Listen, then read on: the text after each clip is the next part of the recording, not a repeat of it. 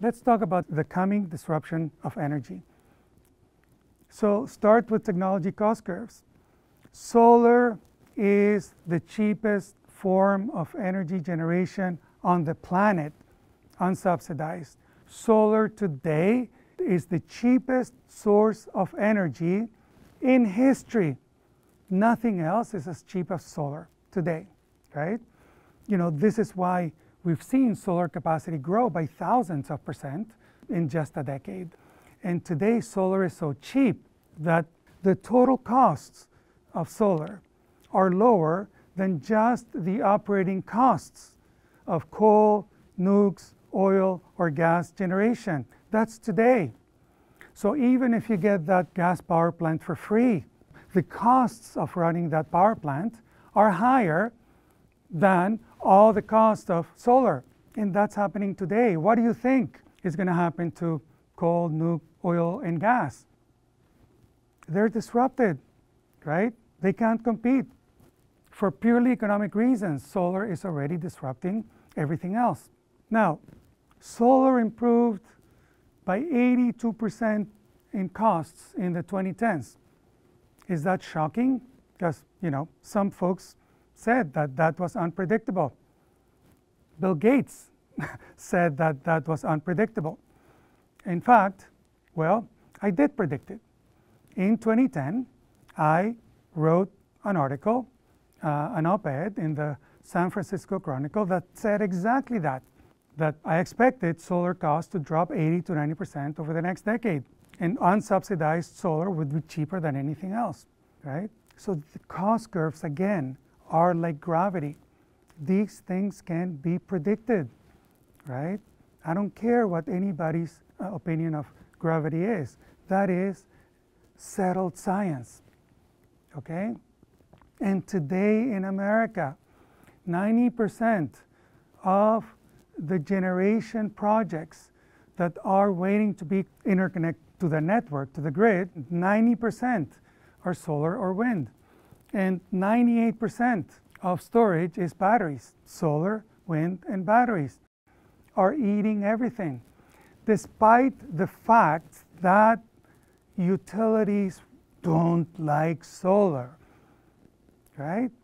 90% of projects waiting for an interconnection are solar or wind. And solar is so cheap now, a cent per kilowatt hour, two cents per kilowatt hour, that steel producers are moving where the solar is, right? So cheap, abundant energy changes everything. Essentially, companies are moving to where cheap energy is, right? Um, but it's not only industrial, right, or utility scale. Um, on basically rooftops, the thing that will change everything, assuming, of course, that we have a competitive market, that we don't have monopolies, utilities pushing back uh, like they are on rooftop solar and batteries.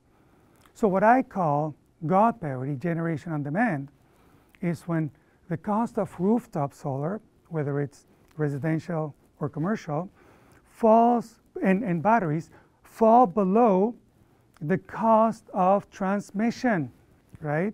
When the cost of you generating your own energy falls below the cost of transmission, meaning that even if utility scale generation is zero, when you add the transmission and the CEO costs, um, essentially it's still going to be higher than self-generation. And we're there. We're already there, right? That's called God parity. We're pretty much there around the world. Thousands of cities are potentially below God parity. And solar is so cheap that there's a company in Australia building um, uh, houses with solar panels. Solar panels are so cheap that you can use them instead of structural plywood.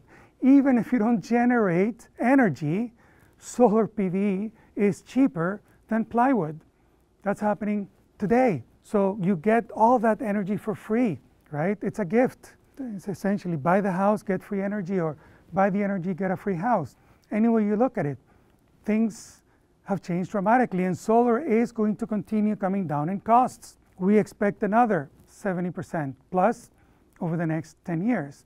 And wind is going to drop. It dropped by 46. It's going to drop another 43 over the next decade. Battery costs, which went down, you know, by almost 90%, we expect another 80 plus percent over the next 10 years. Drop in costs, right? That convergence of solar, wind, and battery is already happening.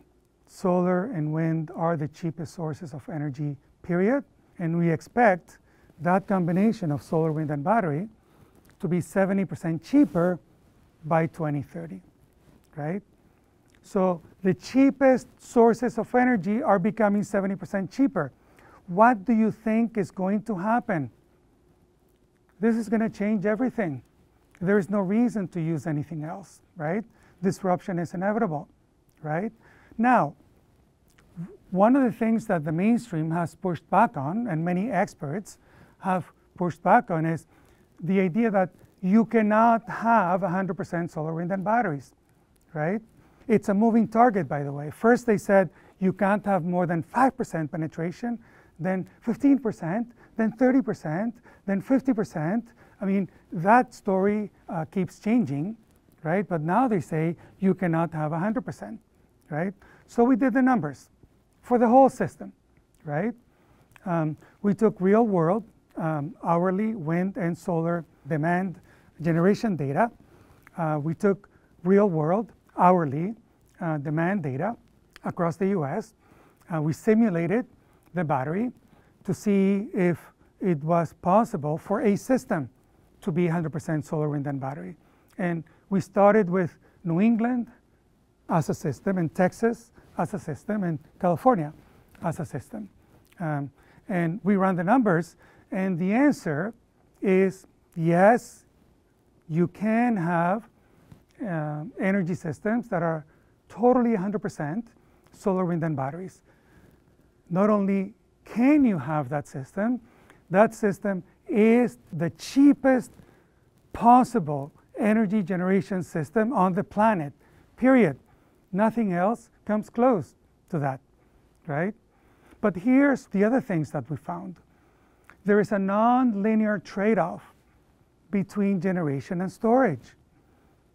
So this is not just a one-to-one substitution of, you know, you take out a coal plant and you put in solar, wind, and battery and, and so on, right? If you overbuild, quote unquote, solar, you need fewer batteries. And if you underbuild, then you, you need more batteries. So there is a non-linear, it's a U-curve. We call that the clean energy U-curve. And in fact, the least cost system would have anywhere from three to five times more capacity to generate, depending on geography, than the existing, the conventional energy system. Three to five times, right? And nowhere on the planet have we found a place that needed more than a few days of storage. So anyone who sells the idea of seasonal storage, that we need months and months and months of storage from the summer to the winter or vice versa, is not looking at the evidence, right? We haven't found a single place that needs more than a few days of battery storage, right? In America, it's somewhere between 35 and 90 hours, basically under four days of battery storage. So yes, it's possible. Yes, it's the cheapest possible energy system, and it will create so much energy, free energy, right? So these are the numbers to build a 100% solar, wind, and battery system by 2030 if we had started when we published the report a couple years ago. And this is a phase change disruption. The 100% solar, wind, and battery system is not the old system, right? The old system is a caterpillar. The new system is a butterfly. You can't just add wings to the old system and pretend that it's a new system. It's not. It has different properties, different metrics, different dimensions. And one of the most important ones is what we call superpower. In energy, solar, wind, and battery superpower, meaning because we have so much more capacity to generate the demand that we already have, we're going to generate vast amounts of energy in addition to meeting existing demand. And that's super abundant, zero marginal cost energy. How so? In California, we can generate nearly twice the electricity that we generate today for free. And this is superpower 93% of days. And even in New England, 64% of days, they can generate um, almost twice as much energy as they generate today, right? Anywhere in the world, we've looked, um, we have found massive, some more than others, of course, depending on geography and demand, superpower. And superabundant clean energy changes everything, right? And it's not just disruptive to electric power, it's disruptive to all forms of energy. So if you think about Texas, for instance, the existing demand in blue and orange is superpower, meaning that's the um, superabundant excess clean energy generation that is essentially zero cost. If you invest in the least cost system, essentially Texas could generate, could meet all of its transportation needs using this superpower. If Texas chooses to build a slightly bigger system, so invest 20% more money, it could meet all its transportation, residential, and commercial usage, and a lot of the industrial energy usage. It's disruptive to everything. You could essentially space heat, industrial heat. It can all be met with solar, wind, and batteries. And superpower, like I said, is free, right? But it's not a one-to-one substitution. In Texas, for instance, solar capacity would be nine times higher than wind capacity, right? So the solar opportunity is a lot larger than the mainstream one-to-one substitution implies. Nine times more solar. And in fact, Texas would need just 49 hours of storage to combine with solar and wind to meet all its existing demand, right? Two full days of storage. Think about it. The outages that we had um, in Texas recently would not have happened if they had a solar, wind, and battery infrastructure. They would have had two full days of storage, no matter what, even if you know there's no sunshine and there's no wind. And this, of course, doesn't include distributed storage uh, in electric vehicles and so on. What about Alaska? Can you do that in Alaska, solar, wind, and batteries? Yep, you can. So I was recently there uh, with my RethinkX team. We studied uh, three regions in Alaska. Anchorage and the rail belt, uh, the largest one, Juneau, the capital, and Kotzebue, which is north of the Arctic Circle. In all of these regions, you can meet 100% of the demand with solar, wind, and batteries. Now, uh, Alaska has um, a lot of uh, hydro that is already installed. So um, essentially, if you keep the existing hydro, you don't have to tear it down. You don't need to build new hydro. You can meet 100% of the uh, electric power and energy demand in, in Alaska with just solar wind, and batteries, even 30 miles north of the Arctic Circle, period. What about Germany? Northern country, economic power. Can they do 100% solar, wind, and battery? Yes, they can. And Germany can meet all its electricity needs with solar and wind and batteries and about 110 hours of battery storage. That's all they need. So there's no need for seasonal storage. But they need uh, a lot of solar, right? In fact, they need more solar than wind to meet all those needs. And they can meet all their electricity needs. And if they invest in a system that is 20% more investment than the least cost system, essentially Germany could generate more than twice their existing electricity demand in superpower. So they can generate twice their existing demand for electricity um, and you know the 600 terawatt hours are essentially superpower free right? What can germany do with a power uh, infrastructure that generates twice for a lot less money than um, basically today and they can be self-sufficient? They don't need to import anything right? Gas or whatever um, they don't need to be held hostage uh, for their energy needs India. India has amazing geography for solar, wind, and battery. India's electricity cost can be one cent per kilowatt hour. And all they would need is about a day of battery storage. India can be an energy superpower. And imagine what that superabundant energy at one cent or even free for superpower can do for the economy. Uh, and it can generate almost twice the, the, the, the energy almost every single day of the year. Amazing. And the economics of SWB are disruptive, right? Because it's a U curve and not a straight line, essentially what you get is that a 20% additional incremental investment can return two to 300% more energy. Think about it. What investment essentially um, can you make that if you make a 20% incremental investment, it's going to return 200% plus more superpower. No form of extraction, resource, energy can compete with this. None, period.